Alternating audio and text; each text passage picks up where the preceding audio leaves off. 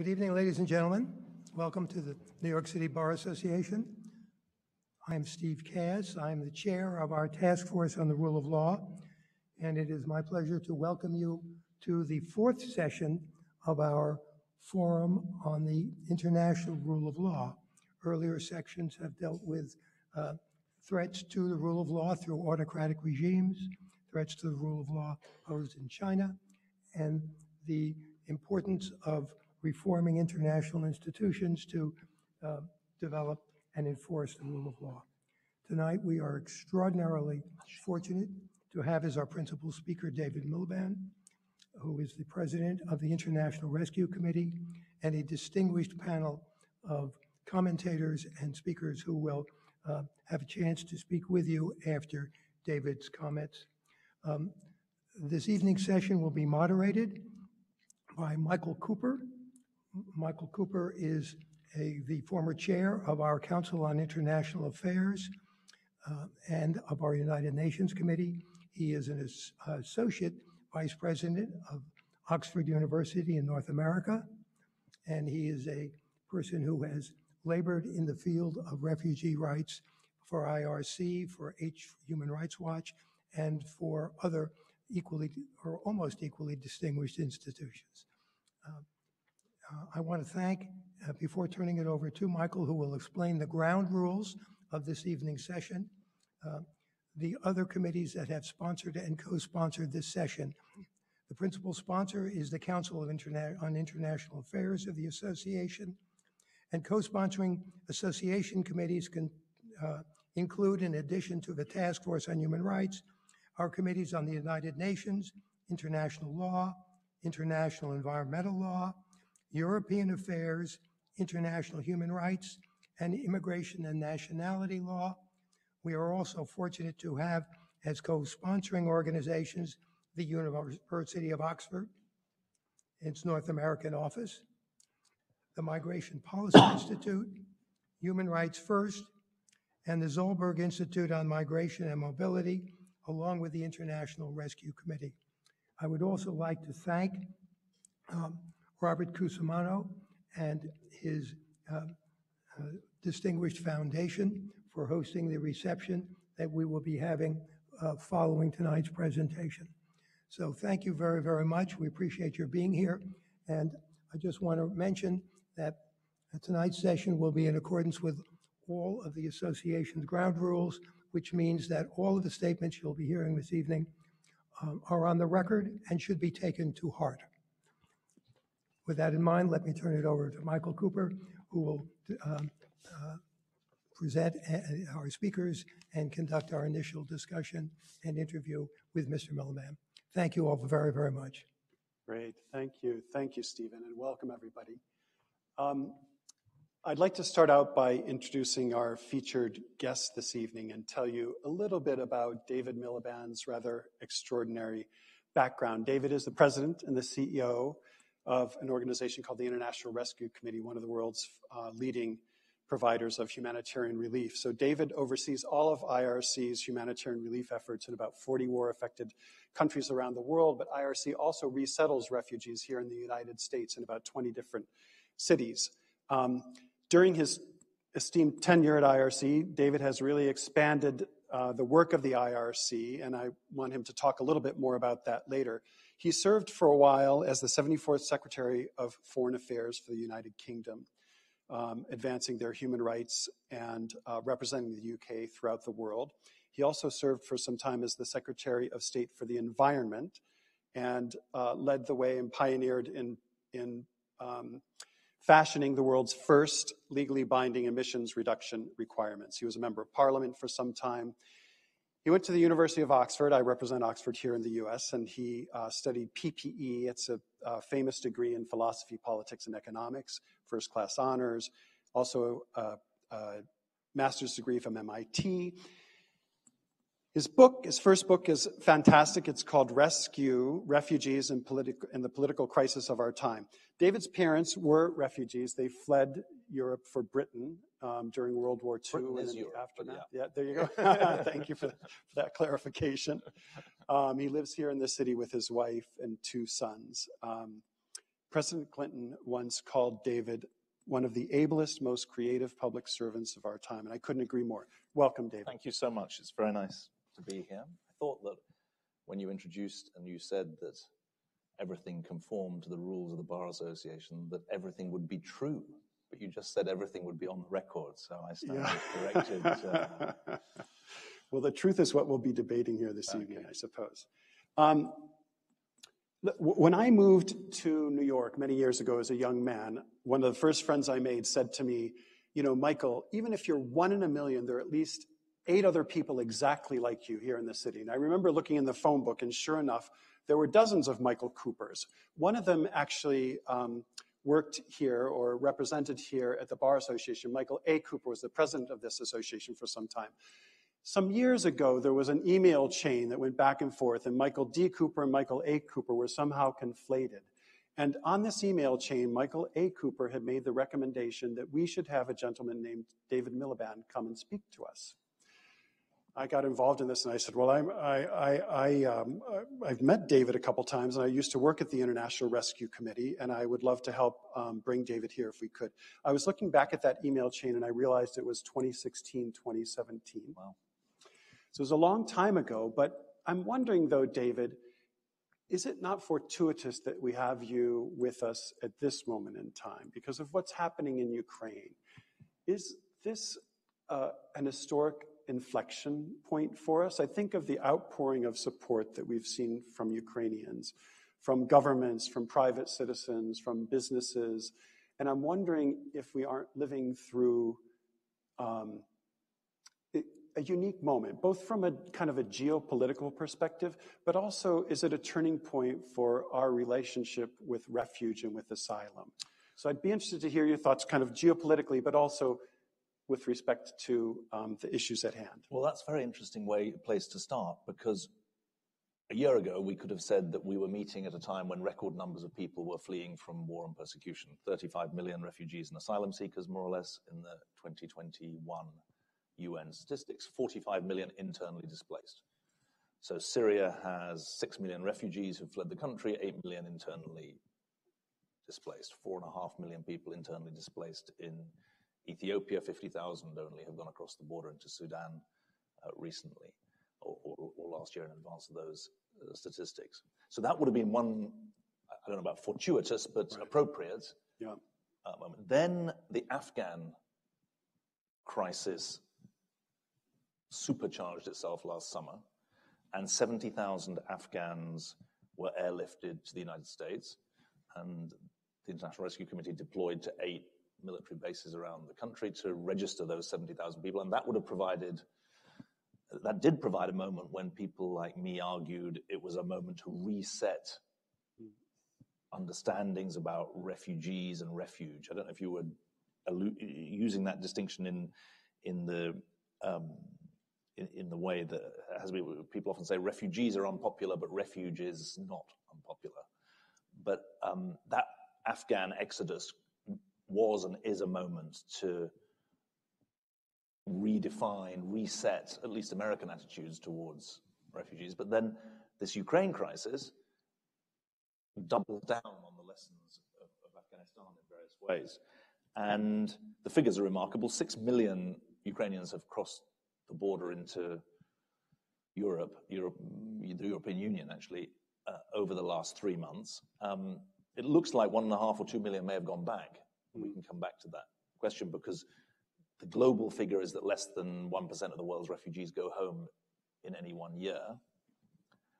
Uh, now, I think that these three things the record number of people who are fleeing from war and persecution as refugees and internally displaced, the Afghan crisis, the Ukraine crisis provide two good reasons to think that it's a moment for a reset.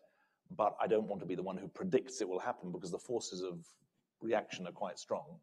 But why would it be a moment of reset? One, uh, if I'd been here a year ago and said 35 million refugees and asylum seekers, 45 million internally displaced, someone would have said, didn't Stalin say that one person's death is a tragedy, but a million people's death is a statistic? So isn't there a problem with the fact that 80 million displaced sounds like too many? And I would have said, yes, there's a dehumanization that comes with that number. Now, the Ukraine crisis, the Afghan crisis provides a moment of rehumanization mm. because the stories have been told so uh, powerfully.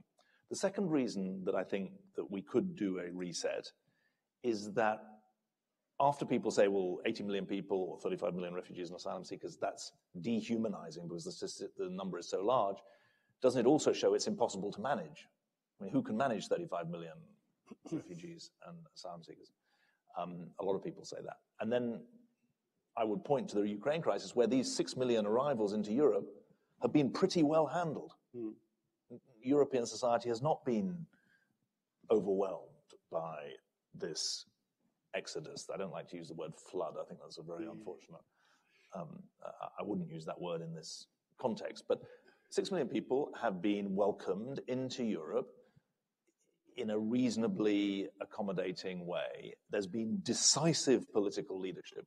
First weekend of the Ukraine crisis, the European Council met and agreed that every refugee um, would have three years residence, three years work permit, three years access to social services, three years education for kids, three years welfare benefits. And I, was I stood corrected. There, there were some problems at the border with non-Ukrainians coming across on the mm-hmm. Ukrainian side of the border, and we can come back to that. But you don't have to be a Ukrainian to avail yourself of the three years of temporary protected status that the European Union has offered. My country, the UK, has sadly been a laggard in this, and has only only 40,000 refugees have arrived, and they've not been given the same kind of rights. But those are good reasons to believe that this humanized moment and this managed moment are good points of uh, for a reset. However, um, I, I, think it would be naive not to recognize that these are white refugees who are coming from, in the main, from uh, Ukraine into um, into Europe. Many of them are Christian or Orthodox, and the fear mongering that associate that's associated with refugees of different color, different religion, hasn't been um, a feature here. And so we take it as our task at the International Rescue Committee to say that the rights, the, the humanization, the management, and the rights that have been accorded to Ukrainian refugees should set a new standard for refugees who are Rohingya from Myanmar or South Sudanese fleeing into um, Uganda actually does give them quite a lot of rights. Uh, Uganda is quite a positive example for the treatment of refugees. But globally, these 35 million refugees and asylum seekers are not well uh, received, including in the United States. So we may want to come to that in respect of asylum seekers at the southern border, where I mean, I hesitate to use this word in this august company because there's 60 lawyers here and they'll tell me I, I, don't know anything about the law, which is more or less true. But the um, the rights to claim asylum, which is an international legal right, is not being upheld uh, at the southern border. Sorry, at the southern border at the moment. So that's a rather long answer to, a, to, to, to an interesting question, but I think it is a moment certainly to argue for a reset, mm-hmm. uh, and it's a moment to work to extend legal rights to those who haven't be, who aren't being afforded them properly at the moment. We're expanding our legal services. We'll come back to this the southern, in the southern states at the moment to try to make sure that those who do arrive are able to enforce their rights in the in the U.S. legal system. Um, but I, I, don't want to underestimate the counter forces. And of course, the Ukrainian example. I mean, I was in Ukraine two weeks ago. Uh, they want to go home as soon as possible. Mm. And while Syrians will tell you in Jordan that they want to go home too, they don't expect to go home. Whereas Ukrainians still expect to go home. That's really helpful. You know, I, I, one thing that really stood out for me, and forgive me for going in this direction, but your reluctance to use the word flood. I've often found that when we talk about refugees, we talk about trickles and floods and deluges and, and streams of refugees, and there are all these water metaphors that we use. And I, I wonder if that's the best way to talk about it. Does it feed into this kind of dehumanization of well, no one wants to be flooded. Yeah. So that, that is what I am allergic to the word flood for a rather personal uh, reason. Um, I, I, won't go into this, but there's a moral to this story which is uh, quite piquant. Um, in 1940, my father and my grandfather fled Belgium and came to the UK. Uh, to cut a long story short, my dad did a year at the LSE, went into the Navy, survived the war. His dad went back to Belgium in 1945 My dad's teacher at the LSE was a man called Harold Laski, who may, some of you may know was a great political scientist. Harold Laski was then chairman of the Labour Party. The Labour Party was in government. Uh, Harold Laski wrote to his friend Chuter Ede, who was the Home Secretary in the 1945 government, and said, I've got this bright young student, Miliband, here. He's uh, going to stay in Britain. He's been in the Navy. Can you arrange for his father and mother and sister who survived the war in Belgium my, his, my dad's mother and my dad's sister were protected by a Catholic family south of, um, south of Brussels for three years.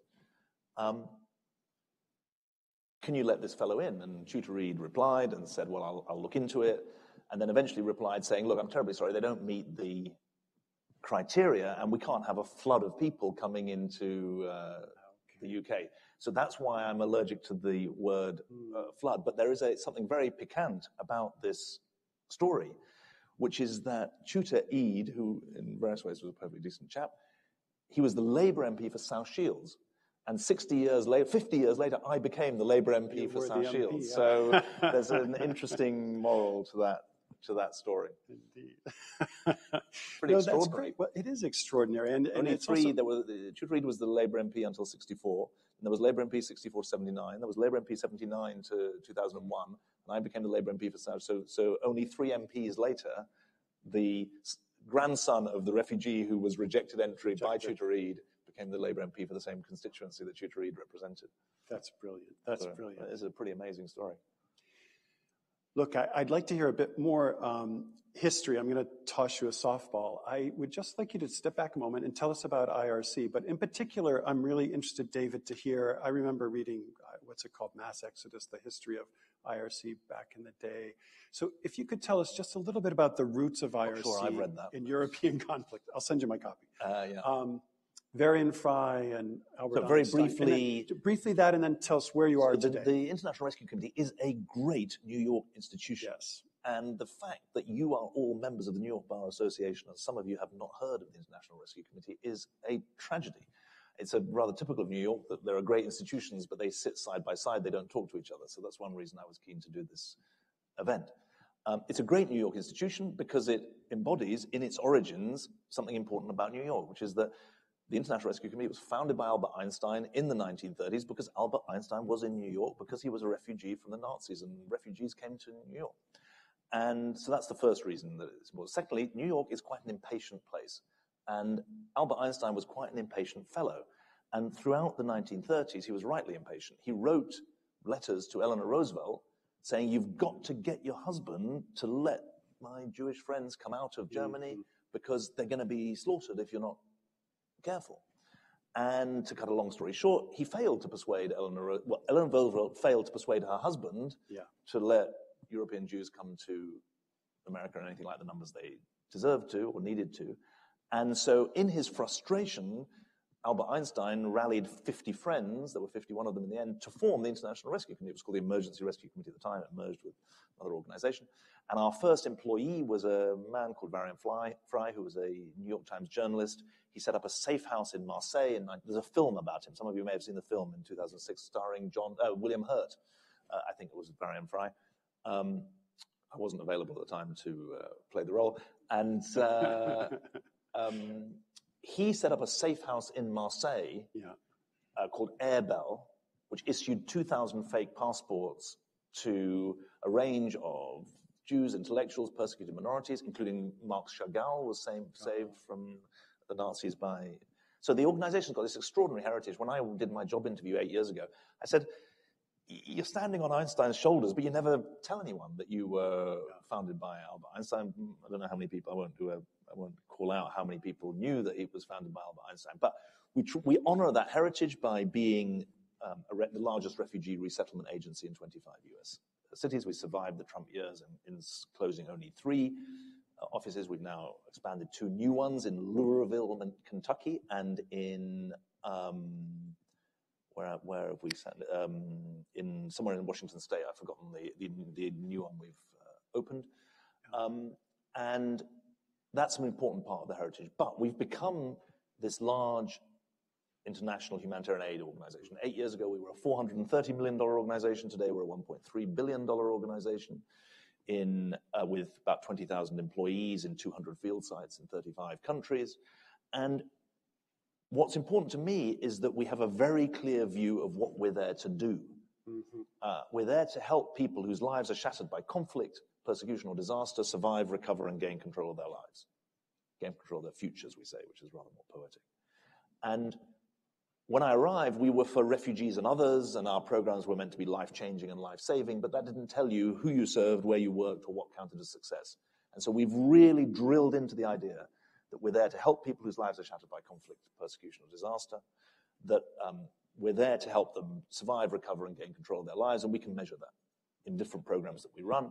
You can see that on our on our website, and I think that's been part of the reason why we've grown. We've also grown because there's more disasters and more conflict. 55 civil conflicts now, plus the Ukraine uh, invasion, so an interstate, conflict. 55 intrastate conflicts, and now the interstate conflict between, um, or the invasion of uh, Ukraine by, uh, by Russia. So the organization has a, a, the entrepreneurialism, the origins, the impatience of New York, um, but it also has some of the values of New York that drew Einstein here in the first place. Fantastic, fantastic. You know, I was thinking about a conversation you and I had just briefly a couple of years ago about blockchain, and I was remembering back to my time in Albania, in Kosovo, when I was working for the International Rescue Committee. It was before your tenure. And I remember in Albania, when the Kosovars were flooding out, um, IRC was helping them. We had some host family programs. We literally had some folks in some warehouses. We don't like to warehouse refugees, but that was that was what we had going at the time. And um, I remember going out with some colleagues to meet some refugees, and we wanted to know what they needed. Did they need water or blankets or food or whatever? And what they said to us that they needed was television sets because they needed information. They didn't have um, access to information. Their relatives were back in Kosovo fighting this terrible war, and they wanted to know what was happening. And so I'm thinking back about that 20 or so years ago, and I'm wondering, with the lived experience of refugees today, how has technology like blockchain, like iPhones, like Zoom, like Venmo payment systems, and all, how, how has it changed the lived experience of, of refugees? Well, I think that the, the short answer to that is that for most refugees, I think not enough yeah. is the answer. Not enough. I mean, the humanitarian sector has not been transformed by the digital revolution yet. And for most of our clients, most of our clients are not middle class. Now, the Ukrainians are middle class refugees, relatively speaking. Syrians are relative uh, are middle class. annual average income in um, Ukraine, I think, was nine thousand dollars a head before the war. In Syria, it was eleven thousand dollars a head 10 years ago. So they're relatively speaking middle class. Um, in, from the Central African Republic, it's $300 a head. For Afghanistan, is even less, um, $250 a head. From the Rohingya from Myanmar, pitifully uh, low. Um, so it's really a split screen for the uh, for the more middle class refugees, and certainly for the Ukrainians and for the Syrians.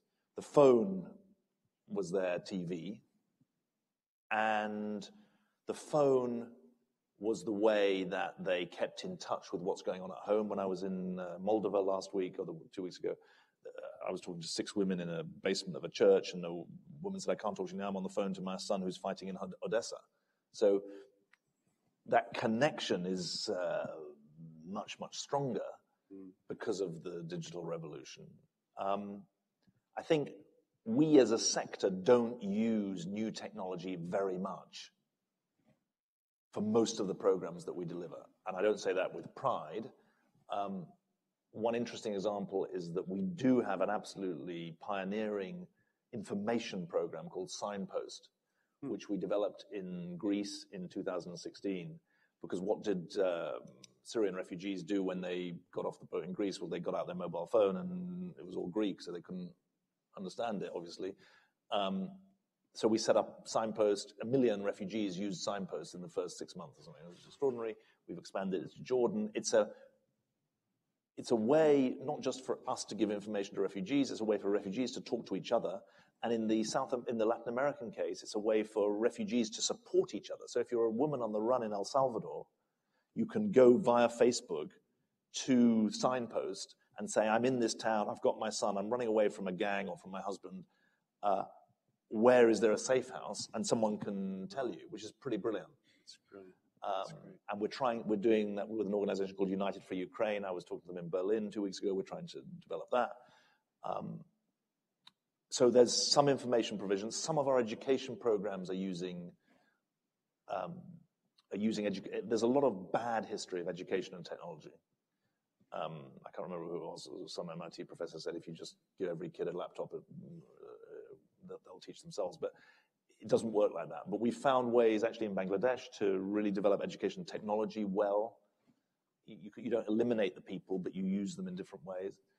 And the final area where I think um, we've been enabled by, by technology is, is obviously in, I mean, we, we, we flipped to remote working pretty effectively during COVID. But more important, I think that for measurement and evaluation, which is quite a big thing for us, uh, it's been facilitated by the digital revolution. Not enough. We've still got a lot, far too many Excel spreadsheets, but better to have an Excel spreadsheet than to have a, uh, a piece of paper. Yeah. Or, you know, just only a piece of paper. So I think it's a good question, and it's. But you see, the, the humanitarian sector is. Everyone says, "Well, you, you, we want to put your money into programs," and I keep saying, "But if you don't put your money into the back office, you're not going to hire the right people. You're not going to support your workers properly. But you know, people love it when you say, "Oh, well, 90, 92 percent of, of your of your money goes to programs." Actually, it's eighty-seven percent for us, and I'll de- I'll defend that eighty-seven percent because four percent goes into fundraising and one percent goes into security and compliance and uh, etc. So uh, we've actually gone from spending half a percent of four hundred million dollars, so twenty million dollars mm-hmm. on IT, to three percent of one point three billion dollars. So we're, we're motoring. Yeah, it sounds like it. It sounds like it. But it sounds like if you had a bit more money, you could do more, right? Definitely. Okay, that's what I thought. As long as it's unrestricted. Yeah. um, uh, I wanted to ask you, just, just to close out on that, I mean, I imagine also that technology is very useful in assessments and things like that. But I was also thinking back about Kosovo with the, um, lots of stories back then about refugees escaping with the hard drives from their computers. And somehow that was also humanizing at, at the moment. Um, and I suppose in this day and age, you know, the connection with technology and seeing refugees with iPads and things like that probably also helps us connect in a way when they're middle class, as you say. But um, well, let me ask you another question, David. So Ukraine is big in the news right now, and it has become a kind of an inflection point. But if you could name one other refugee crisis in the world right now that we should be paying attention to and we're not paying attention to. well, I think you've got, you'd have to look at the largest one. I mean, yeah. the Syria crisis is 10 years old and it's, it, everyone's forgotten about it. Yeah. Um, I'm going to Jordan and Lebanon, actually. They've been hosting 650,000 refugees in the case of Jordan, and 1.2, 1.4 million in the case of Lebanon. Um, Jordan's done well on health um, for refugees. Um, Lebanon not so not so good, but then their own situation is so difficult. Most people think refugees are in rich countries, or the media reports that mm-hmm. refugees are in rich countries. Eighty-five percent of the world's refugees are in poor countries. People talk about. I had some a very distinguished person come to me today, and he kept on saying, "But you know, we can do something for your refugees in camps." And I kept on saying to him, "Most refugees are not in camps. Sixty percent of refugees are in urban areas." He's sort of having trouble getting the point, um, but they're not in camps, and most refugees don't go home. Mm. Uh, and that's why this integration, I mean, Alex Aleinikoff is going to be on the panel. He knows, you know, tons about this. Um, we pretend that the solutions are going home, going to a third country, or um, integrating in the local community, but none of them are really available. Yeah. You know, very unlikely to go home. Refugee resettlement to third countries is pretty pretty limited. Even the U.S. in its in the best days only let in 90, Ronald Reagan let in more refugees than any other American president. So if anyone tells you it's very left wing to let in refugees, then remind them that Ronald Reagan was not a Bolshevik. And um, the, uh, the, the integration into the local communities is rarely done as well as the Germans do it or the Ugandans do it. Mm-hmm. Well, if you step back for a moment from refugees and asylum seekers and looked at human mobility more broadly to include economic migrants and people displaced by disaster and so-called climate change refugees. We don't really like to use that phrase, but, but sort of human mobility writ large. And I know it's not, it's not directly where IRC is going, but what do you see happening in the decades ahead? Well, there's going to be more of it. Yeah. There's going to be more. I mean, I'm an immigrant. I'm actually a temporary immigrant, and I, am still a UK citizen, but I'm on a visa. Um, but, you're going to have more people migrating for economic reasons because global inequality looks like it's growing. Uh, or inequality within states is growing while global inequality is actually narrowing, just to be uh, accurate about it. Um, so there's going to be more economic, more people choosing to move. And I think there's going to be more people forced to move because I don't see the diplomacy or the um, state building or the political institution building that will help people forge compromise in their own political systems. And you see a rise of quite ugly forms of nationalism. I mean, Isaiah Berlin wrote about two concepts of nationalism, and there was one of them was aggressive, and one of them was patriotic, really. And that's, I think, a better mm. distinction. Patriotism feels it can be positive sum. Nationalism is, is zero sum.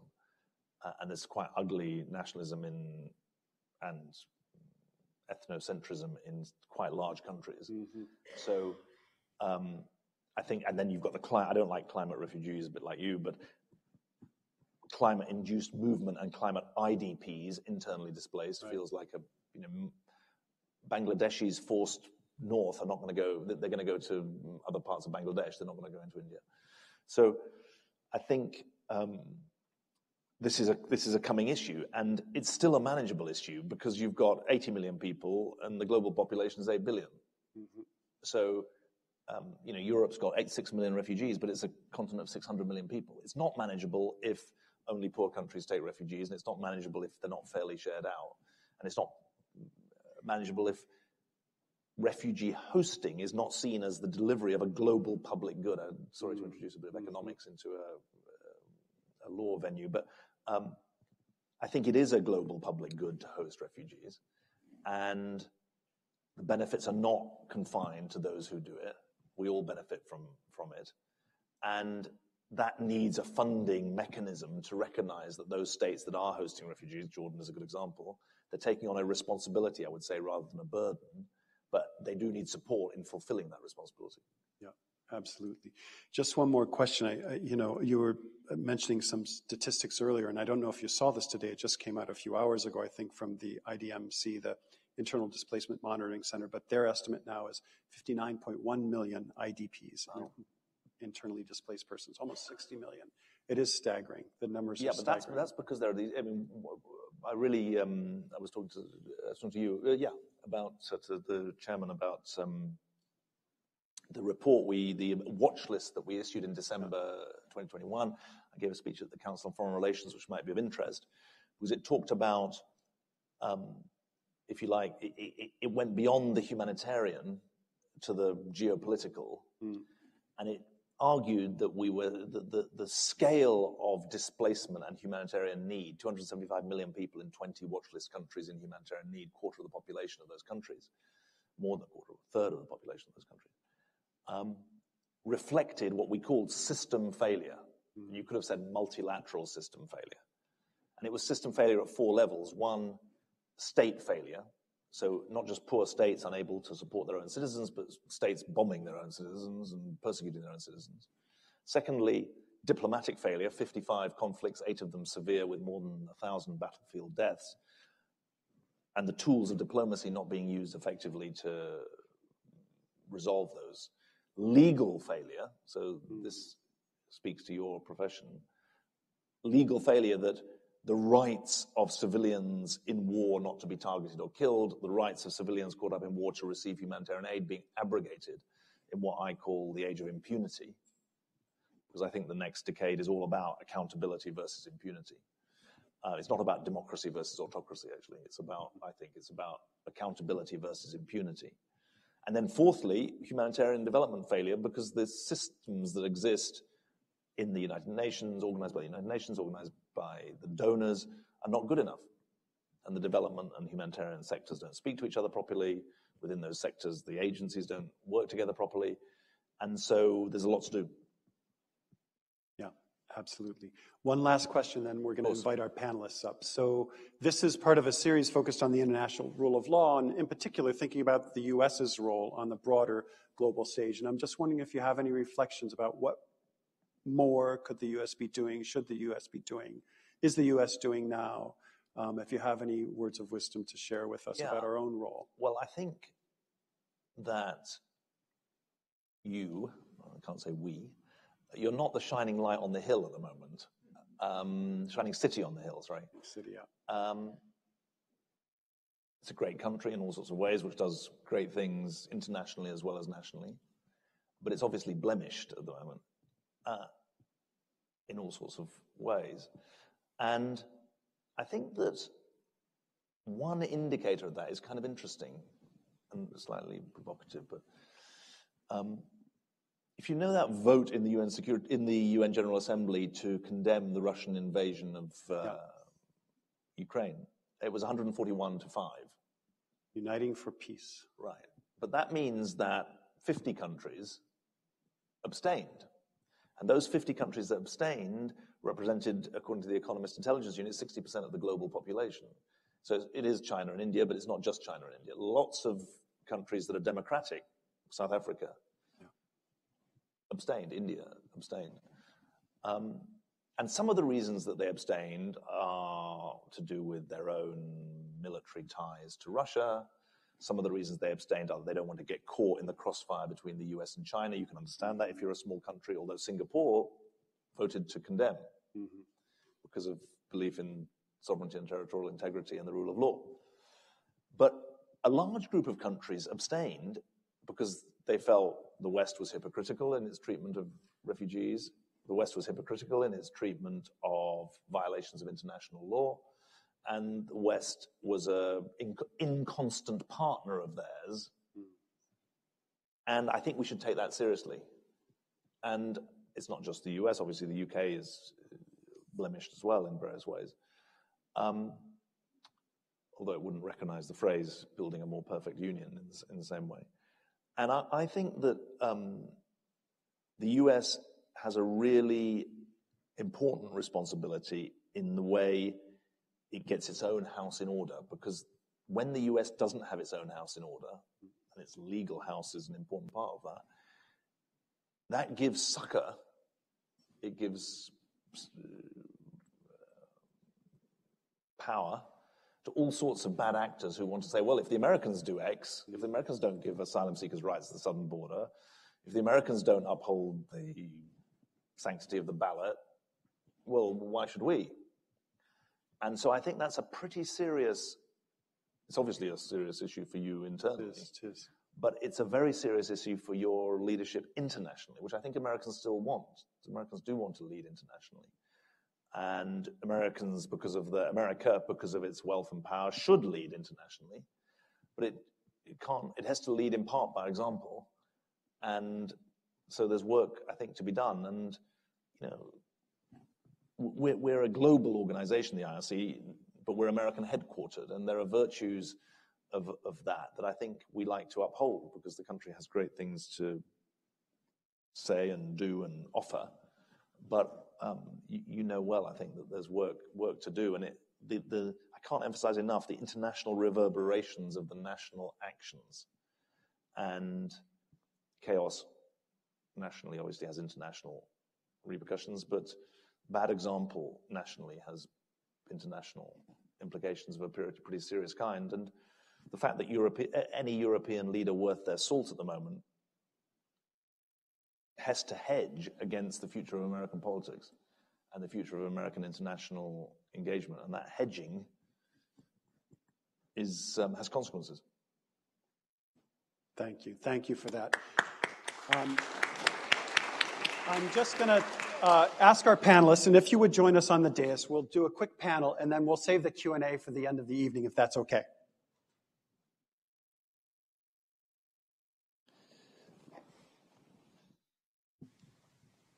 and I'm, we're meant to leave these here, aren't we? We were told very strongly to leave them.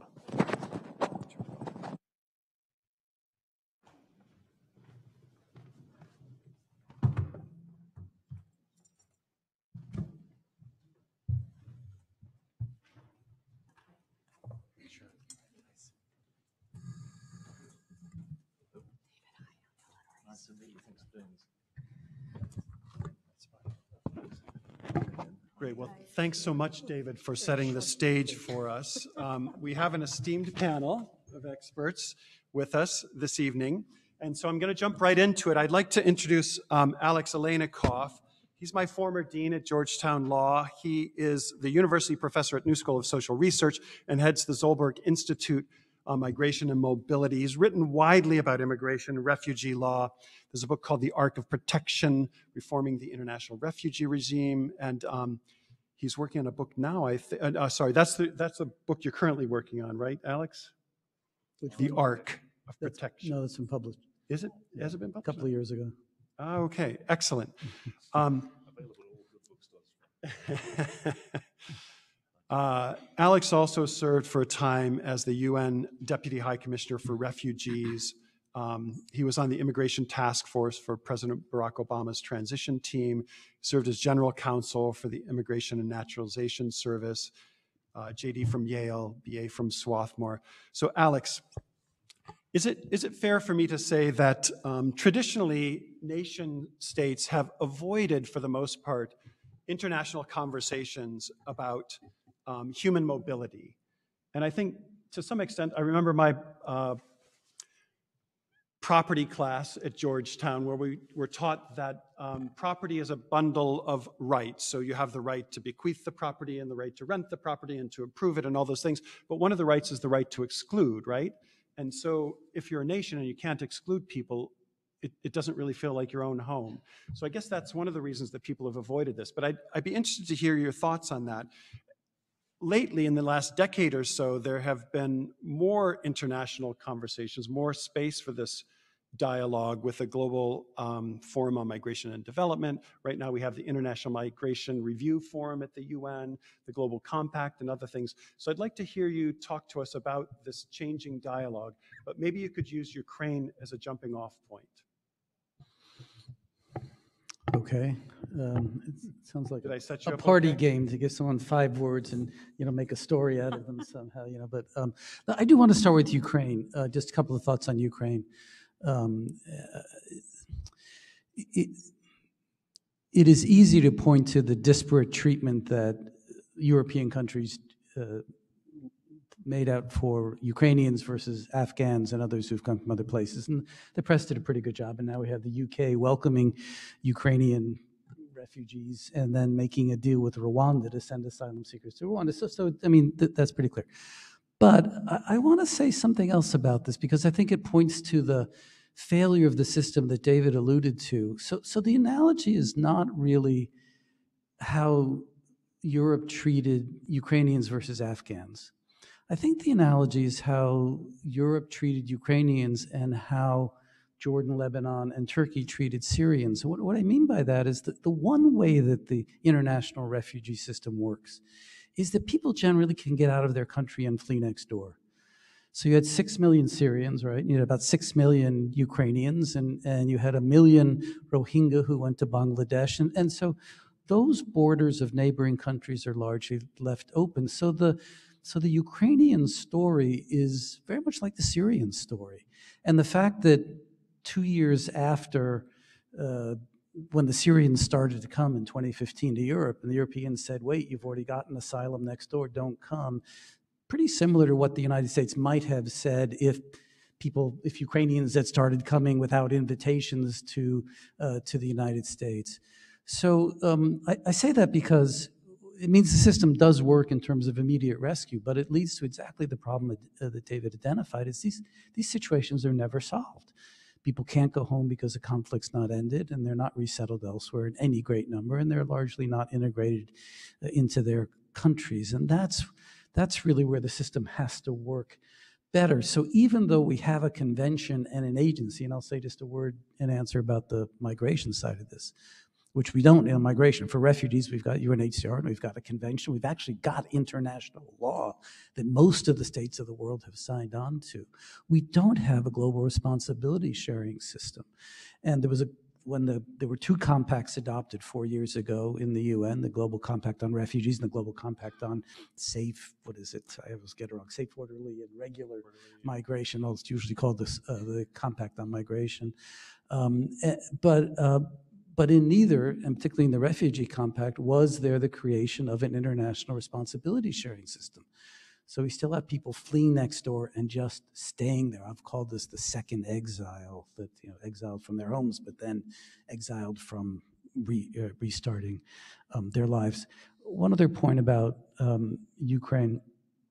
There, there is a real development here that I think could be very important. I'd love to hear David's thoughts on this as well, and that's the creation of a private sponsorship system, which Canada's been doing it for a while, uh, and it's been talked about in the U.S. What I mean by that is usually the way resettlement works is UNHCR identifies some folks overseas. They meet with relative countries. Countries say how many people they'll take. They send them over with IOM's help, and the people are resettled. And David's organization, with other aid organizations in the United States, then take them once they get here, and then help them go to communities. Under a private sponsorship model, groups of Americans can get together and say, I want to bring this refugee in and can identify the refugee. It's going to often be a family member, but, uh, but someone as well. And the U.S. has made clear that they are willing to open that up in the Ukrainian parole system and the refugee system to bring, let people sponsor them in. And think about that. I mean, I think the goodwill of many Americans would lead to, you know, entry of really tens of thousands of more people through a private sponsorship model. And so I think that's very, that's a significant positive thing. The last thing I'll say on Ukraine is there's a real problem here that the United States has not defined what victory in Ukraine means yet. And I say that because I'll say something probably pretty unpopular. From my mm-hmm. perspective, the war should end immediately on whatever terms are possible because every day more refugees are being created and every day more people are being killed and harmed. And, and I fear that the press of the West here and the press of military folks in the West and, and po- politicians who love a good war are seeking to extend this war for other purposes that are not taking into account the creation of refugees. And refugees are always collateral damage in a way. They're not, you know, so say, you know, gee, if we can create a million fewer refugees, maybe we ought to think about ending this war pretty quickly. Is not taken into account. And and that's come, the U.S. has not said what victory is, what what, what its end goal in Ukraine is, and uh, and that's a problem. I think others may have other views on that. All right, I'll just say a quick. Do you, how how much longer do you want me to talk? Two minutes more? Yeah. A couple of minutes more. minutes. Okay, um, uh, the Global Compact on Migration I mentioned briefly. So this is the, what, what, what Michael referred to here is, um, this week at the UN is the IMRF, International Migrant Review Forum, Migration Review Forum, which is a, um, a taking stock of what progress has been made under the Global Compact on Migration. The Global Compact on Migration is an interesting document. It is a, it's, it's people who wrote it four years ago said at the UN that it was an attempt to create a, a, an ecosystem for thinking about migration regulation at the global level. Why? Because unlike the refugee system, there is no international institution that manages uh, international migration. There are some norms, uh, human rights norms and others, but there's no real international law on migration or a structure for uh, for making making that work. And and the GMC, the Global Migration Compact, was was an attempt uh, to start uh, thinking about that. So there's a lot, I won't read you, there were 23 different commitments and the like, but it's not a binding document. Um, it's, it's not a convention that creates law. It is rather a set of state commitments. And this, we've gotten to a point where we don't really make international law anymore. We simply have, like in the Declaration, the New York Declaration. For a few, so before that, we just, states make, you know, they'll say, well, maybe we'll try to accomplish these kinds of things. And so this forum in the UN that's being held now is an attempt to see, have states lived up to their commitments to, you know, be nicer to refugees and respect, respect their rights and make sure they're included in benefits programs and make transmission of remittances easier and not detain people as much as they're doing and the like. Uh, uh, and so it's this funny place we're in, in terms of international law where we have a document that lays out some pretty interesting um, provisions if they were carried forward and if they were binding law. Um, but they're not, and there's no real way to keep states accountable to them. When the United States did not sign the Global Compact on migration when it was first adopted. It's by the Biden administration is now more favorable towards it, but it was based on the idea that look, we know what's going to happen. This thing's going to be adopted. People are going to call it soft law, and soft law is going to grow into hard law, and suddenly we'll have all these new commitments that we really haven't um, signed on to. And this goes to the basis of Michael's question: is that that a still in a world that has become so global and such a recognition of international law and international human rights, regulation of migration has been kept very close. It's seen as kind of the last bastion of state sovereignty and something that should be kept a state regulation. Even in the EU, interestingly, there were some Dublin, we can talk about the kind of stuff, but, but still it was left up to the individual states of the EU uh, to make their own third country migration rules, even if there's free movement within the EU. And this is true uh, around the world. It's viewed as very much a, a state prerogative. So we've we've advanced. The answer, the short answer, Michael, is we've advanced a little bit with the with the global compact. There's a there are norm there are norms waiting to slouching towards Bethlehem, if I can put it that way. Um, but um, but they have yet to be um, to be uh, turned into hard international law. That's great. Thank you, Alex. Yeah, the last bastion of state sovereignty. I think that's the best way to put it, actually. Um, I'd like to quickly introduce Camille Le Coz, who is a senior policy analyst with the Migration Policy Institute. Uh, MPI, I don't know how old it is now, maybe 15 years old, 20, 20 years, years. 20 years old. It's had a meteoric rise to really be, you know, forgive anybody else on the panel here, but really, you know, one of the world's premier uh, think tanks for migration policy. So I'm really thrilled to have Camille with us here today. Um, she was based in Kenya for a while, in Afghanistan. She's done a lot of research on trafficking. Um, her specialty is in EU migration issues, migration and development. So I'm hoping that Camille today can bring to us a bit of a European perspective on what's happening especially with Ukraine. And I'm also interested to hear not only about Ukraine, but um, more importantly, to the point of this panel, the role of the United States. And um, have we been a better partner in recent years, or is there more that we could be doing? So thanks. Thank you, Michael, and thank you for the invitation. Um, thank you to the New York City Bar Association for hosting us. Um, yeah, so I think here, and I mean, David and I are both European, but I'll be the French European in, in the panel. And uh, yeah, I'd like to share some reflection on, you know, the European response to, to the war in Ukraine, um, what this means also for the future of European migration and asylum policies, and finally, what this means also for a partnership with, with the US, uh, which has been quite, yeah, silent in during the Trump administration, but is now, I would say, resuming. So first on the response uh, to the Ukraine crisis. I think um, for us in Brussels, the activation of um, this mechanism that uh, David referred to, it's called the Temporary Protection Directive, was a bit of a divine surprise. Like we never expected that the European could suddenly activate this this weird text that had never been activated before. Um, and the reason for that is since 2015, 16, and the crisis, when 1.3 million people arrive in Europe, there's been a lot of division uh, on this topic of migration and asylum. It's the case in the US, but in a way, what's what's yeah, what's symptomatic? I mean, what's difficult in Europe is countries have to agree between each other, and migration is one topic where all of them have to agree. And countries on the Eastern Bloc, especially Hungary and Poland, have really done a blockade on, on this question of migration and contested anything related to you know the positive aspect of migration in the past years. And we've referred to the global compact. Hungary has really opposed uh, this this international agreement, whereas really this was very much aligned with everything that the EU had been doing uh, in in many ways for years. Um, but it, it's, it's not just been the Eastern Bloc; it's also been north of Europe against south of Europe as a French, I've seen the French fighting with with Italian, and, and really this question of like who is going to have responsibility over people arriving to Europe from Northern Africa, from you know other part in Africa, but also from from the Middle East and Afghanistan and further away. Um, so this division explained why this mechanism was was never activated, and whereas when it was created in 201, this was after the war in the Balkan, and the idea was like, next time there is a war, European states are going to have something they can use if there is a mass arrival of refugees in Europe, so that asylum system don't need to be won't, won't be overwhelmed. We won't have to go through that process, which is an individual asylum process. So each person has to go through this process individually. It takes a lot of time. And when you have a million refugee, uh, this is obviously not ideal because people have to wait, and it means they have to wait um, to get a, uh, to get a status to start their life again. Um, so this was never activated in 2011 when there was the Arab Spring. This was obviously not activated in 2015, 16. And also last summer when um, Kabul fell to the Taliban regime, there was discussion at some point as to whether this could be activated. And of course, Europeans say, no, there is no way this, this could work. So in a way, this had been, this had been forgotten.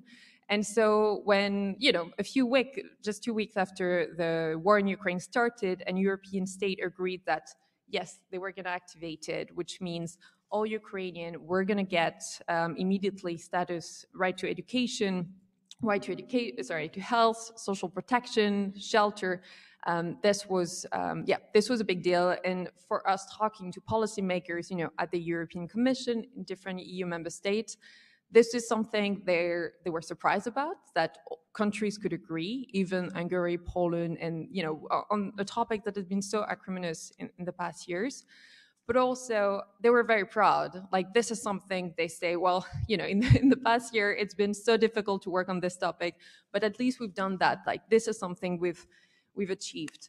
Now they're really four main factor I think that explain why why this is different this time. Um, well, this is a refugee crisis in Europe. And it's been a useful reminder that these crises are not just all far away, um, but they also happen on European soil, which, you know, you would think given our history, we would, we would remember. Um, second, this has been an aggression by Russia. And this is really critical to understand the response of a country like Poland that, again, over the years has been very, um, yeah, very against hosting refugees.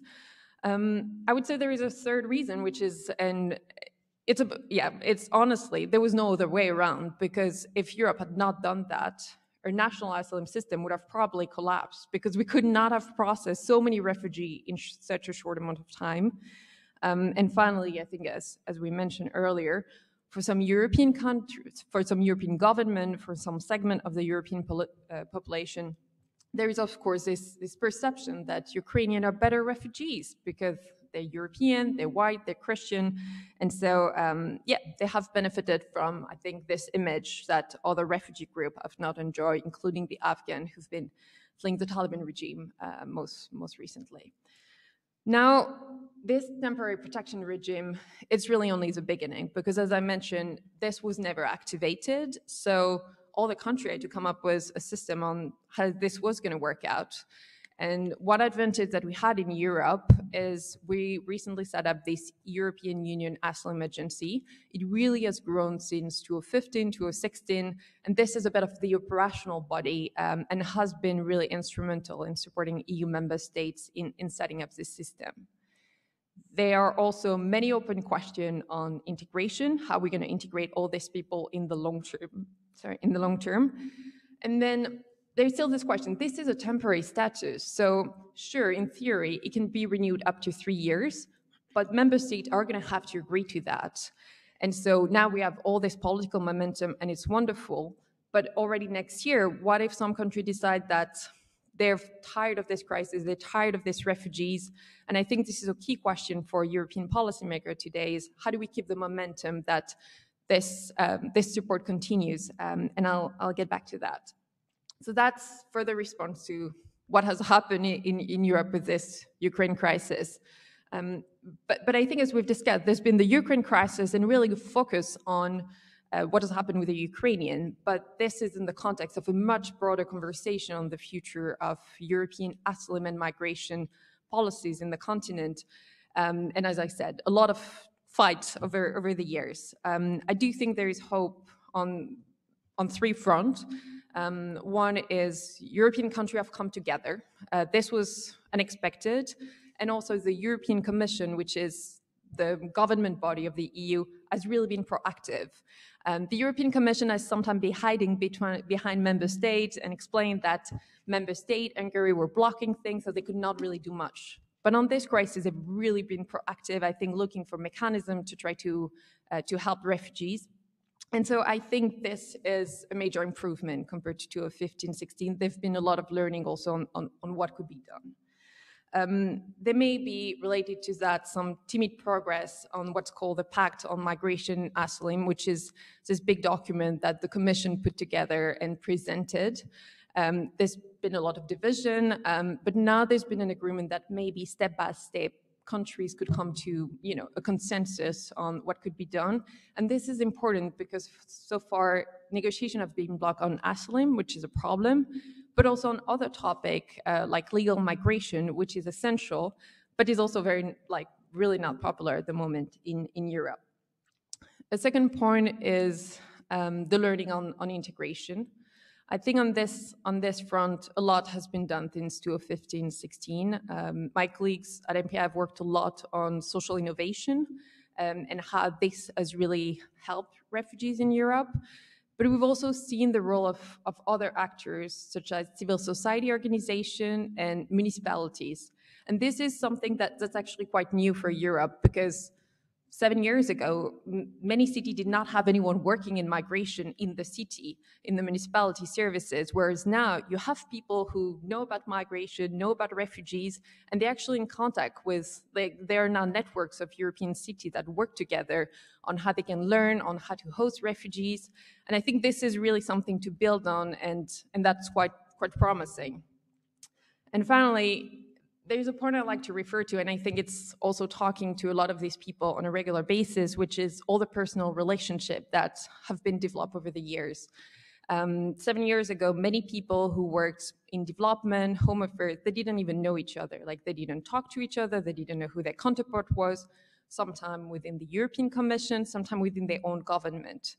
And I think now, even if of course, somebody from the Ministry of Interior is going to hold quite a different view from the person from the Ministry of Development. They're still going to know who is who, and they're going to be able to talk to each other, to coordinate. And I think this has been um, this has been another major progress. But there are three worrying signs. Um, one, and, and, we refer to it, public support can fade very quickly. Um, because we know that integration, it's not straightforward. Um, we know that you know, this simplistic narrative of the good, deserving refugee really does not match the reality.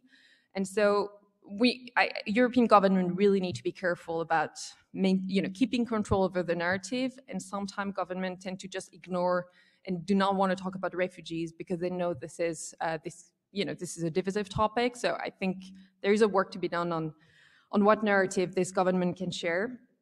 Second, there is a risk on, on the cost of all of this response. So, you know, economists have shown in the long term, refugee, you know, benefit to your community, or at least this is like a no cost situation. It depends.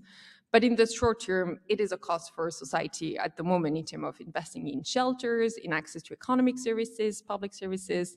Um, and this is happening at a time where European economies are recovering from COVID and are facing a number of difficulties. So there's a risk that Europe turn even more inward at a time where, with the Ukraine crisis, um, the situation in Europe is not getting better. And we've talked about the other crises around the world. We've talked about Lebanon. Lebanon is hosting 1.5 million Syrian refugees. They're also hosting Palestinian refugees. Uh, they're going through a major crisis. And so they need support from the outside. But we're having these discussions in some European capital as to whether they should not keep the money, you know, the development money, the humanitarian money for the response to the Ukraine crisis because they're all, you know, resources are scarce. And so, um, yeah, unfortunately, some of this conversation are happening and I think they, they're quite worrisome.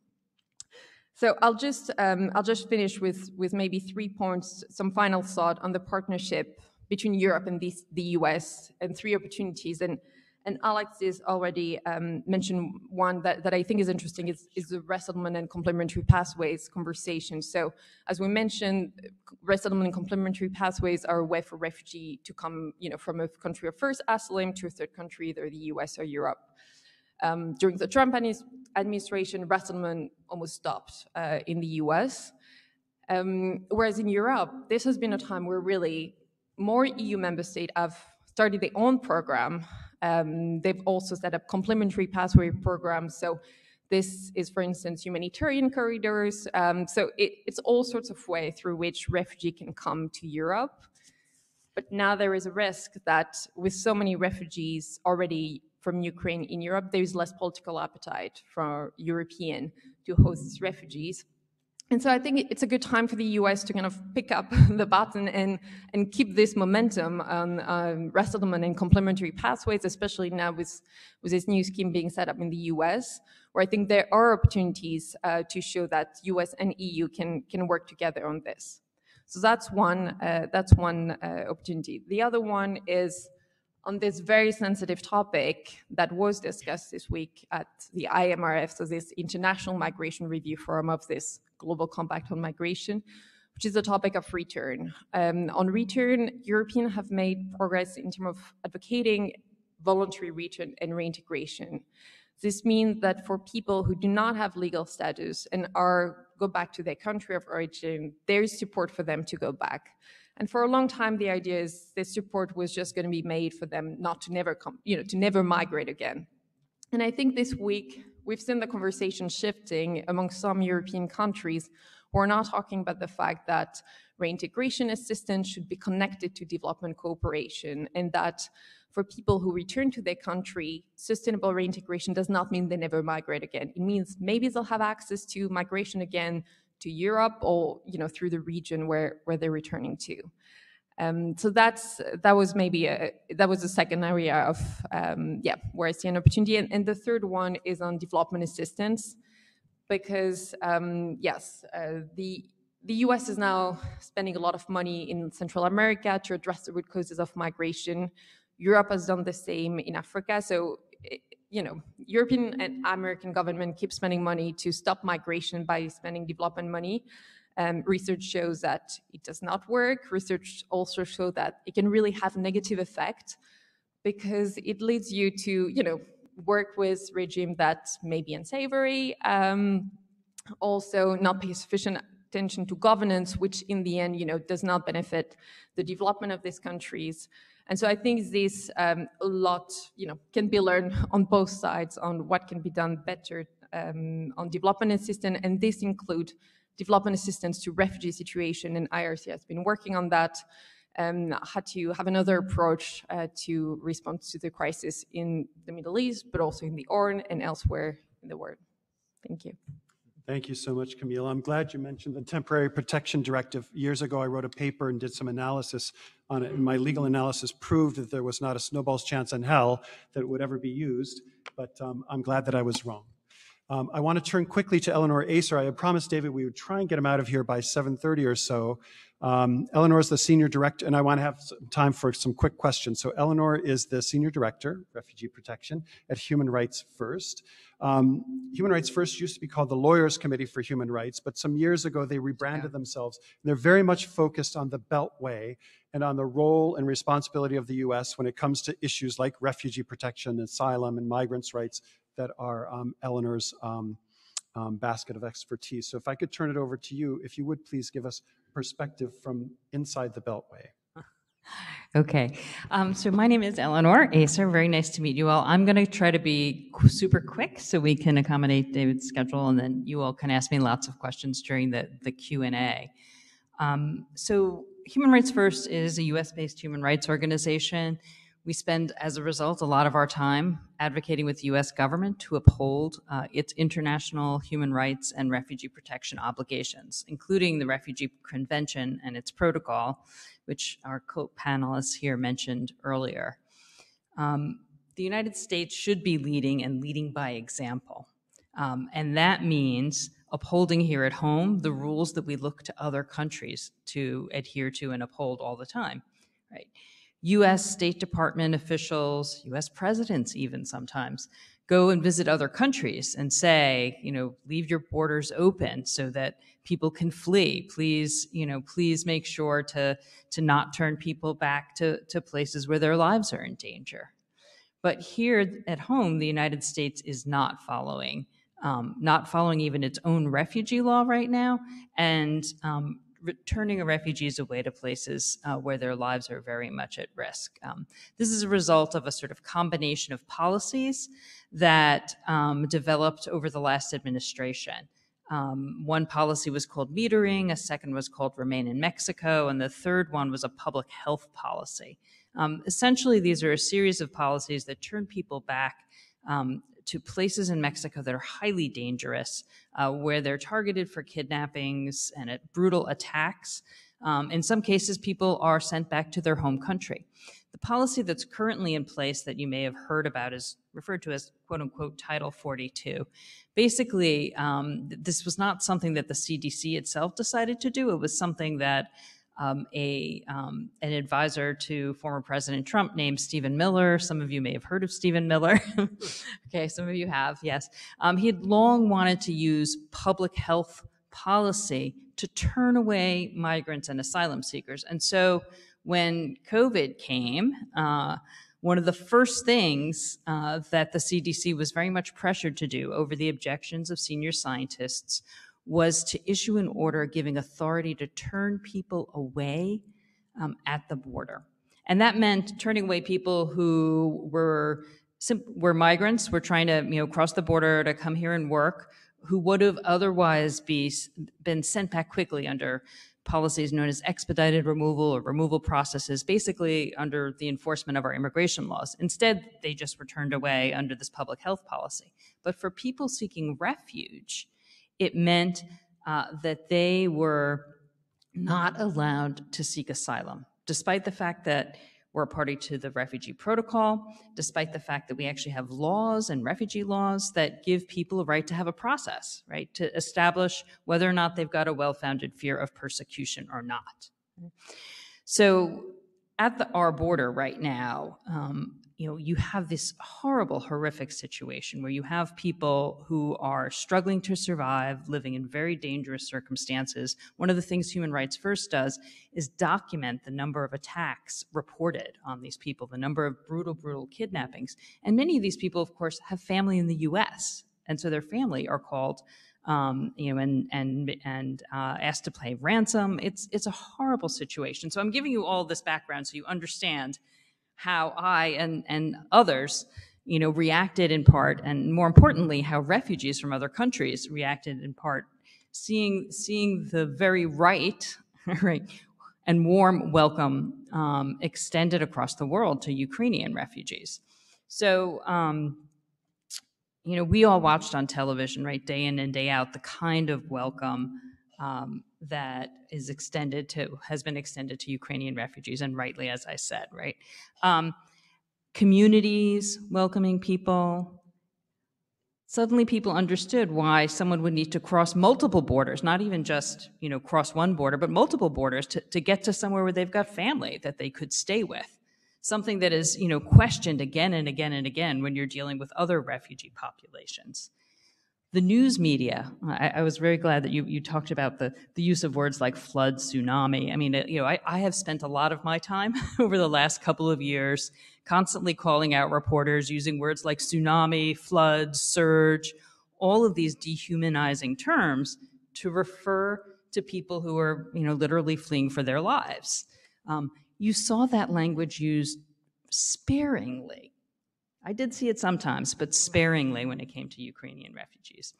Um, the United States, you know, you know, was was clear, right, that it would it would um, step up and help uh, the countries neighboring uh, neighboring Ukraine and, and take in some refugees. Um, many Ukrainians, though, in the me- meantime, started heading to the U.S. southern border. So I've described to you very briefly the situation that faced refugees from all these different countries. They're, they're stranded, they're not allowed to cross. Lawyers are desperately trying to, you know, convince some official to let you know, a, a really at-risk person you know, cross the border. Um, and it's not happening. All of a sudden, many Ukrainian refugees came, and it was a very different welcome. You know, a really nice welcome center was set up in Mexico. And of course, Ukrainian Americans, family members came to the border, right, to, to try to make sure that their family could get across. Um, all the kinds of things that you know you would you would sometimes see with other refugee populations, but all of a sudden, kind of it was understood. Um, Ukrainian refugees were extended an exemption from that Title 42 policy. So you actually had this situation, and one of our researchers was there observing this. You have this situation where there's a line of Ukrainian refugees who are getting in, one after another after another, right? Refugees from other countries are turned away, are not allowed in. Uh, maybe there's a few who are being given the very, very rare exemptions, but they're sitting there and waiting and waiting. And the refugees themselves are actually talking to each other. Um, you know, Ukrainian refugees were talking with the Haitian refugees and the Hondurans, and some of them afterwards are saying, "Gee, you know, so it's not fair. Like everyone should be be able to, to to seek asylum. These other people should be able to get in too." So anyway, that's a um, long story, um, just to show a little bit of the sort of the disparate the disparate treatment. Um, but I will say there are some positive lessons learned, and I'll be quick because I know we're we're short on time. Um, you know, the what the United States was actually able to do after, after saying over and over again it didn't have the capacity to actually process refugees at the border. They didn't have the capacity, didn't have the capacity. Well, they were able to process, I think, about 10,000 Ukrainians at the border really pretty, pretty quickly. Um, and so there are, you know, they use some processes, they use some some new strategies, um, you know, that um, they they they curtailed they made some processes more streamlined right? And and there were differences but they but there are a lot of th- lessons learned out of that for how we can more quickly process people seeking asylum at the at the border. And p- part of the reason they were able to get Ukrainians through is that they have been thinking about like how to do things uh, much better at the border instead of like throwing people who show up to ports of entry and want to seek asylum like into these horrid conditions. Like maybe there's a way to do it quicker um, the other thing that I'll say is, you know, we talked a little bit earlier about the idea of, um, you know, sponsorship, right? And people watching on TV saw how communities across the country extended welcome to Ukrainian refugees, right? That same kind of welcome, sponsorship, um, and support from communities should absolutely apply to people seeking asylum. Many of the asylum seekers who come here, as I mentioned, you know, have families, whether they're, you know, whether they're coming from Venezuela or Cuba or Honduras or El Salvador, many from Haiti. Most of the time, when you talk to people, they've decided to come here when they've left because they've got some family or friends here, like anyone would do. Like people understand, of course, the Ukrainians who left want to be somewhere where they have family and friends who can help them, hopefully, during this short period where they're displaced. But you know, as we often see, um, displacement periods are a lot longer than uh, than we anticipate. So I think I'll stop there, even though I've got a lot of other uh, suggestions and ideas. But in the interest of time, Okay, Thank you, Eleanor. Thank you so much. Let's try and do a couple quick questions. If anybody has questions, maybe Clay, if you wouldn't mind to, to help us. We have the microphones, but um, rather than have you come up, maybe we'll just um, bring the microphone to you if anybody has any quick thoughts. Um,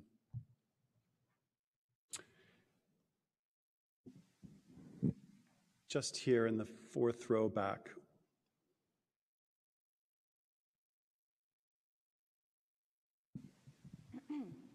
Hello, and thank you so much for the conversation today. I think I'll break the ice by asking the first question.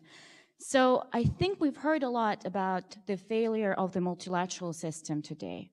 And I think we're also touched upon how we're seeing an increase in bilateral aid and in these bilateral relations and national policies. So, in this respect, I would like to point to two things. Number one, the International Development Strategy released by the UK yesterday that also talks about this increase in bilateral aid and shift away from the multilateral um, organizations as being ineffective. And number two, countries like Sweden and Norway, sorry, announcing that they will be reprogramming funding, usually used for ODA, towards covering refugee costs at home. The question that I have in this respect, it's quite easy to talk about what are the disadvantages of us going back to this domestic oriented level of cooperation. But are there any positive sides that we can take away from this? I hope I was clear and let me know if I should clarify further. David, would you like to? Um, I'm afraid I haven't read the new UK International Development Strategy published uh, yesterday, so I can't uh, comment on that. Look, I think that the the international system, let's call it that rather than just the multilateral system, is multiply challenged at the moment. And COVID, which should have been a relatively straightforward case for international cooperation, because the risks of disparate activity were so obvious, has actually become a rather chilling poster child for the f- lack of international cooperation. And people still talking about a post COVID era, but we're, of course, in an era where the mutation of the disease is much more likely than the eradication of the disease. And so we're, we're waiting to see is the next variant going to be more transmissible, more virulent, etc. Um, I think you were also hinting that we should be in the solutions business, not just in the um, not just in the suffering business, if you like.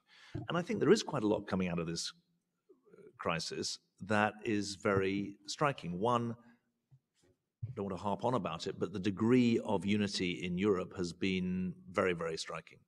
And um, I think that it's sent a very strong signal to other um, regional organizations. For example, the African Union, which has got a very strong, the equivalent of the CDC, the African CDC in health. Um, I think you can see them looking at the ways in which the EU has cooperated and taking some inspiration from that. So I think that's one thing that's important. Secondly, I do think that this law of, or rules versus impunity framing is very strong. I really commend to you the comments that were made by the Sing- Singaporean Prime Minister when he was here last month. Um, because I think there is a very large constituency that is very concerned that the alternative to rules is anarchy and that that's dangerous. Um, third, thirdly, um, there have been, uh, I think both um, Alex and Camille referred to this, uh, the examples of civil society, of municipal action um, across Europe have been very striking. And actually, the US as well, rising to this private sponsorship model. My own view is that it's a good thing, but you also need the professionals. And the best is where the private sponsorship is supported by the um, by professional agencies because often these cases turn out to be very complicated. And when people in Berlin say to you, no, it was good to invite someone for two days and good for them two weeks and good for two months, but oh my God, it might be two years living in my uh, spare room. It takes some organization and some professional support. But I think the innovation that's been around this has been very striking and very positive as well. Great. Uh, just here in the front row, Clay, thanks.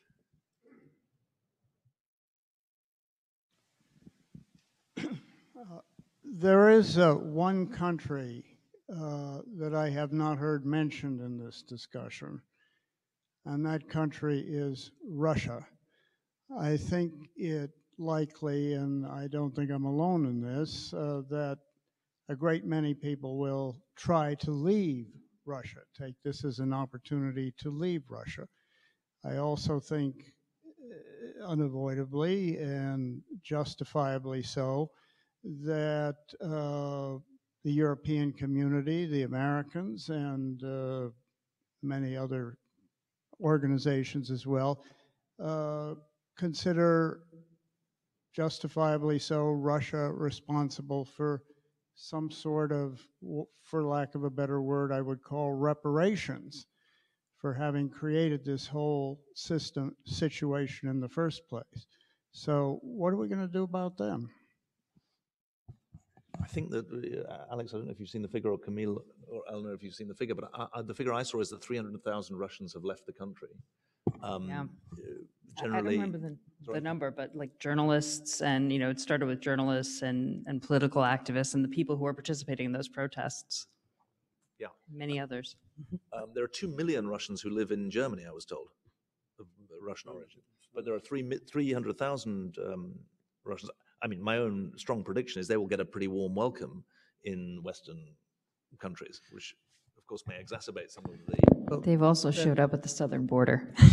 There's a tradition. Is of- that the southern border? Yeah. There's a tradition of Russian refugees. I mean, the the international refugee system was created really after World War One with the collapse of the Russian Empire, and the the Office of High Commissioner for Refugees was really the High Commissioner for Russian refugees when it was first started. And then, of course, in the Cold War era, anyone fleeing from the you know, the Eastern Bloc was welcomed into the West for resettlement purposes. These were very different times. I just, as a, as a David told a personal story, I'll tell one personal story. The Aleinikoffs fled Kiev when it was part of the Russian Empire in 1880 uh, after the uh, pogroms, uh, but the following of the assassination of the Tsar. So they were they were refugees from Russia, from Ukraine at the time, but of course it was Russia. And uh, my great great grandfather became a lawyer in New York, as did his son and his son and his son. So I'm the fourth generation member of the New York City bar uh, for that family, which, like your story, they, they fled Russia and they ended up as New York. We couldn't get out of New York, couldn't get out of the Lower East Side, I guess. Anyway, um, but um, I think the I think the Russians will continue to be welcomed in New York and elsewhere. But not at the southern border. Listen, if I can, I'd like to close us out a bit uh, early at 7:30 uh, to accommodate David. I'm also conscious of the fact that we do have a reception across the halls, and I've I've learned uh, in my years at City Bar never to stand between a lawyer and his liquor. So I don't want to keep you waiting too much longer. I think what we'll do very quickly is ask David if he has any closing remarks. I want to make one quick comment, and then I'm going to turn it over to Steve to ring the bell. Do you have anything you'd like Well, to part just with, um, thank you very much for the invitation. Thank you very much for the really great contributions from all of the other uh, panelists who- who- who- who've really uh, brought tremendous expertise um, to, to balance my practical work. I mean, the thing I would say, or the thing I would ask, is that all of the lawyers in the room think how they can be part of the solution. Uh, Because I think that the striking thing about civilians caught up in war, the striking thing about refugees and asylum seekers is that they do have legal rights. The question is whether or not those rights are, whether they're able to exercise them. Uh, I mentioned in passing that we're, we're building up our legal services at the southern border or in our offices in uh, southern states. Um, and that's one way in which we um, can work on this. But there's a, this global question of the accountability of power and the uh, promotion and um, maintenance of legal norms um, does underpin not just the whole system of rights for refugees and asylum seekers, but actually it underpins the, the origins of the situations from which they're fleeing in the first place. And I do, I, I- I completely understand why President Biden talks about democracy versus autocracy as the uh, uh, as an issue of the age for the United States. Um, there's been 16 years of democratic quote unquote recession around the world, documented by Freedom House. But I do think the wider frame is that we're living at a time when checks on the abuse of power are in retreat. That includes legal checks, but it's not confined to uh, legal checks. But the legal questions are important for internally displaced people in Iraq. They're important for people in Uganda, gay, and lesbians in Uganda. That They're evident in a wide range of uh, places. And it would be nice to think that out of this, the interest in tonight's event, uh, there was some collaboration, cooperation, uh, effort. Our own New York and New Jersey resettlement offices uh, work to ensure that the legal rights of those refugees who do arrive, legal rights to a green card after one year, citizenship after five years, are followed through. And that may provide uh, some fruitful um, forums for cooperation and action, because in the end, it's talking about it is one thing, doing it is what really counts. That would be great. Thank, you. so much. I'm just going to say one quick word and then turn it over to Steve to, to, to close us out. But um, it's just an observation. We've, we've all watched so many throughout our lives uh, interviews on television or heard them on the radio. And inevitably, at the end of the interview, the interviewer always says, Well, thank you for being here. And the interviewee always says, Well, thank you for having me. I've never heard David say that. It's a pretty remarkable thing. He's the only person in the world, I have to say, who at the end of an interview says, Thank you for your interest in this story. And I want to thank you, David, for being such a great storyteller and such a great spokesperson for this cause. And just simply to say to our audience members here this evening, thank you for your interest in this story. Steve, will you close us out? Yeah. Well, I want to thank uh, Michael for moderating uh, this and organizing this program, and David and Alex and Camille.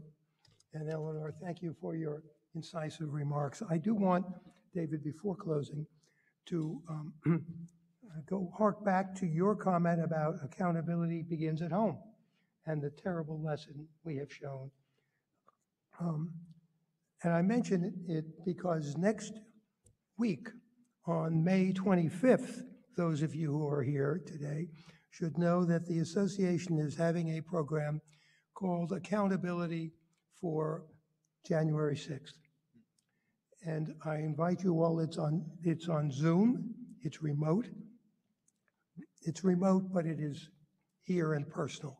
Um, So please go to the New York City Bar Association website, nycbar.org, and register for the session on May 25th, at which Barbara McQuade and others will be speaking about potential criminal or civil remedies or remedies under Section 3 of the 14th Amendment for those who participated in the January 6th insurrection. That is an attempt to follow up specifically on David Miliband's suggestion. Um, Thank you all again very much for coming. Uh, Don't be strangers here. Welcome the stranger. We welcome the stranger here at the association. And thank you very much. And now it's time to go to the reception and have a drink. Thank you.